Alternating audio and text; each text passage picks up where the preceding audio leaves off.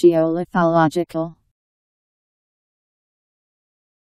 Describing the branch of geology that studies the distribution of different forms of stone.